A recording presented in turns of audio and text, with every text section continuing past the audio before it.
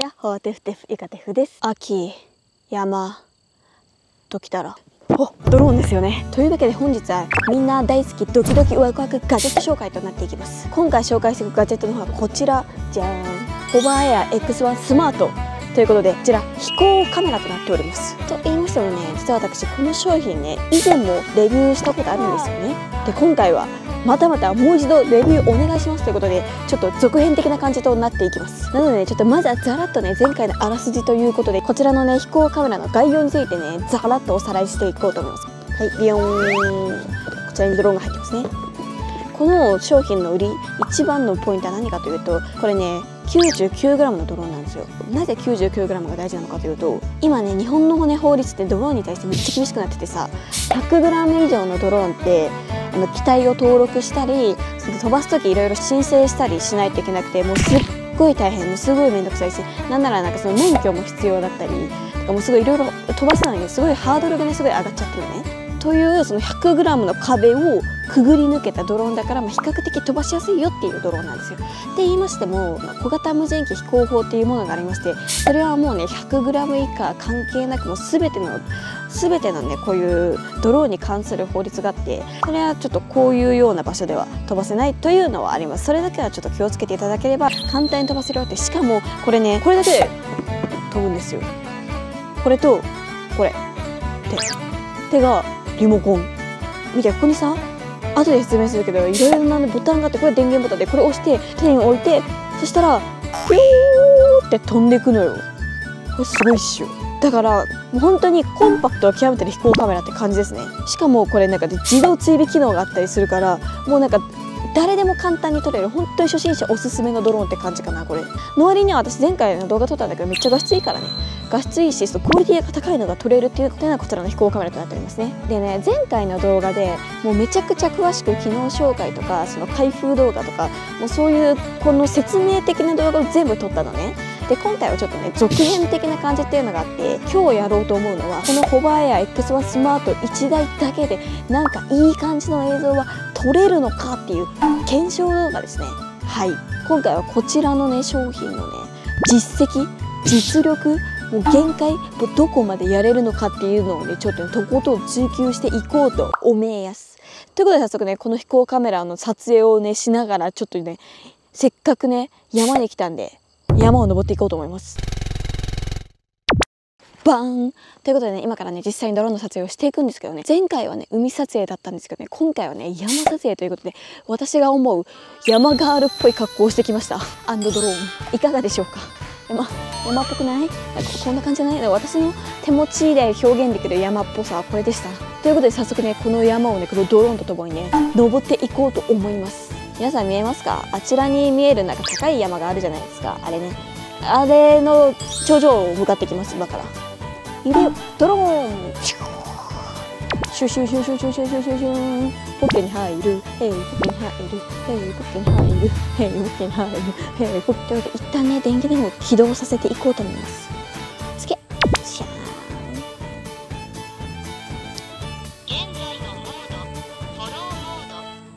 つきました一旦フォローモードで、ね、私の後ついてこさせようと思います標準距離フォローモード行けはい。ということで一旦ついてきたまえ私に。いい感じについてきてますね今のところ。このモードはね後ろからついてくるフォローモードってやつです。勝手にね私を認識しても勝手についてきます。どこまでもどこまでも。走っても走ってもね多分ついてくるから。ついてきてる。走ってもついてきてる。きつい。今やったのがフォローモードっていうあの私のことを後ろから追っかけせたやつなんだけど逆に前から追わせるやつもあってそれがフロントフォローって言うんですけどそれをちょっと今からねやってみようと思いますよ。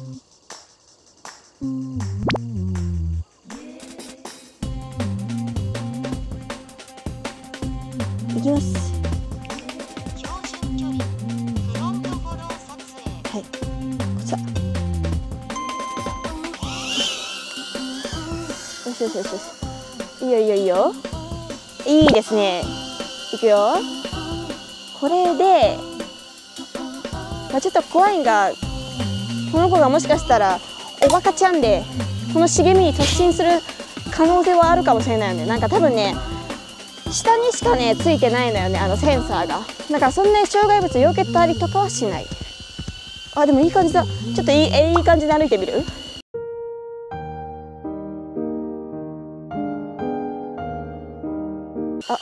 茂みの茂みの中に入っていっちゃいそう。曲がって曲がって。こっちこっちこっち。ああ行き過ぎて行き過ぎた。いい感じに私がコントロールしないといけないね。今回このドローン1台でビデオ撮影をしようっていうコンセプトなんだけど私が思ってるちょっと1個もシナリオがあってまた主人公ね。主人公が初めてね山に登ってね日没をね初めて見たのよこの主人公は、まあ、じゃあ主人公はじゃあ日没が見たことない設定だから。まあなんか実験施設に入れられてて実験されてた個体ということにしよう。その戦いのために開発されてた個体ね私。それで戦いが終わってもうお前ももう自由にどこでも行っていいぞって言われてそれが初めての山登り。それで初めて日没を見て感動して泣くっていう設定にしたいんだけど。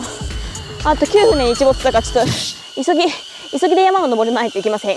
急ぎです。はい。で今からやるのがマニュアル操作っていう手動でやるやつ。まあ本当の普通のドローンみたいな感じで自分で操作できますよっていうやつをね手動で追っかけさせてみようと思います。上昇。で下向けてジンバルを。あいいねいいね。そうこういうこういう感じの俯瞰撮影でいきましょうかじゃあ。これで追ってくる感じね。あ違う逆だなこれ。もうちょっと私が真ん中にいたい。あいいじゃいいじゃこんな感じじゃない？おおいいねいいねいいね。それっぽいそれっぽい。映画っぽいよ。結構ねあのジンバルの操作が難しいですね。マニュアルモードはやはり。こういう感じでさあの空中に固定カメラとしても使えるからね。これいいよねこうやって。三脚のいらないカメラって感じじゃない？これで私の前を。ついてくんだけどちょっと待って待って待って待って待って待って待って待ってめっちゃこれ絶対さ芝生に当たる。あこっち来てこっち来て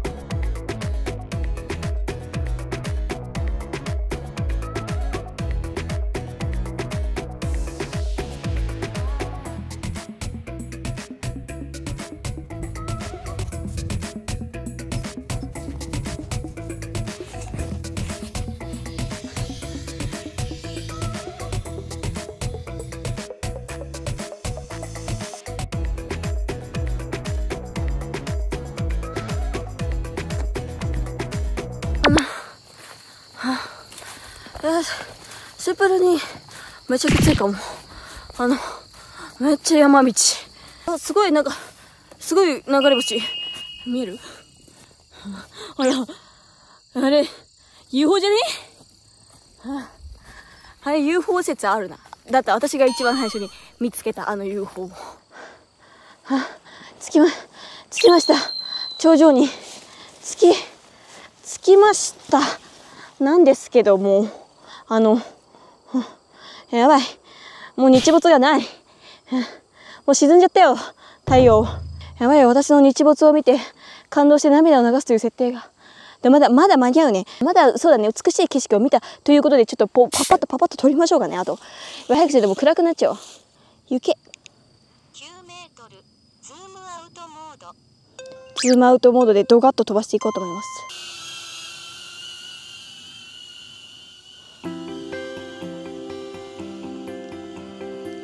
飛んでてすごい飛んでてる。帰ってきた。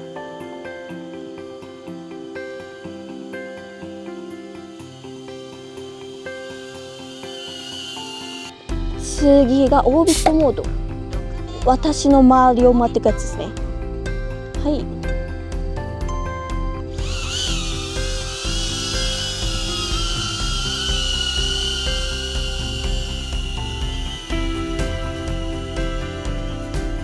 から回っていくよ。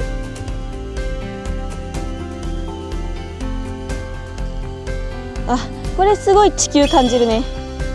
あこれすごいあの初めて地球にあの初めて地球の外に出たあの実験兵器。初めての初めて外を見て感動してあこれめっちゃ綺麗じゃん。初めて外に出た実験兵器。ユカユカゴン。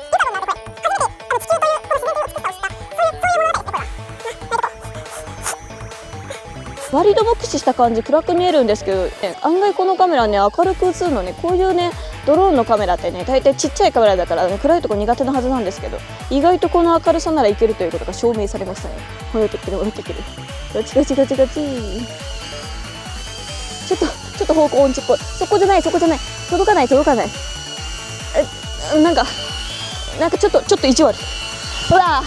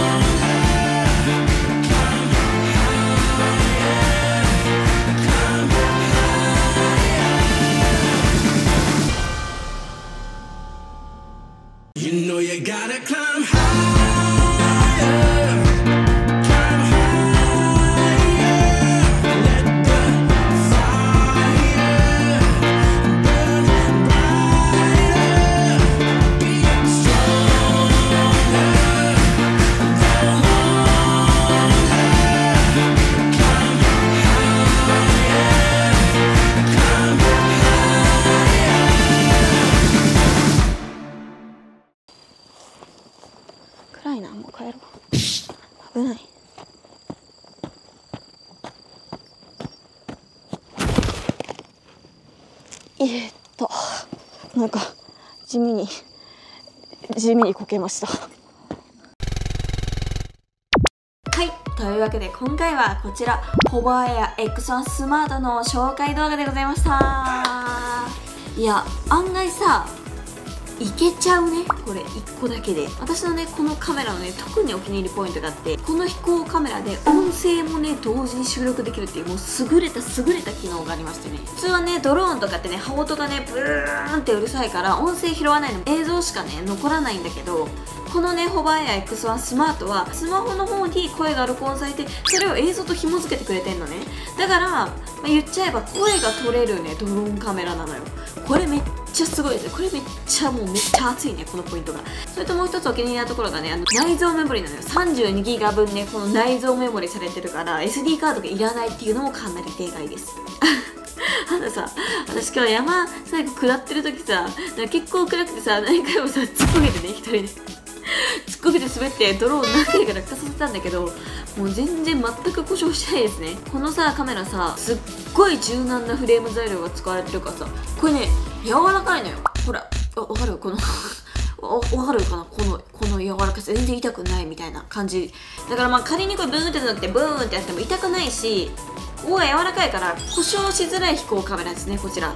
という感じでね今回の検証結果といたしましてはこのホバーエアー X11 台で映像は撮ることができたということでしょう。だって空撮できてさ勝手にさ自分のことをさ AI でさ追っかけさせてさマニュアル操作もできてさ音声も取れちゃったらもうこの1台だけでいいね。しかもこれもう手のひらとこれだけあればいいからもうなんかちょっとこれだけ持ってさ旅先出かけちゃうっていうことが可能ということが分かりましたね今回の事件で、まあ、あんまりカメラいっぱい持ちたくないよでもなんかちょっとおしゃれな撮影したいなって思ったらこのカメラってめっちゃ楽しいと思います。以上こちらホバーエア X1 スマートでしたありがとうございますこれからもね、カテフの動画でね、ちょくちょく出てくると思うので、皆さんご注目あれ。ということで、今回の動画を見てくださりありがとうございました。また皆さん次の動画でお会いしましょう。バイテフテフ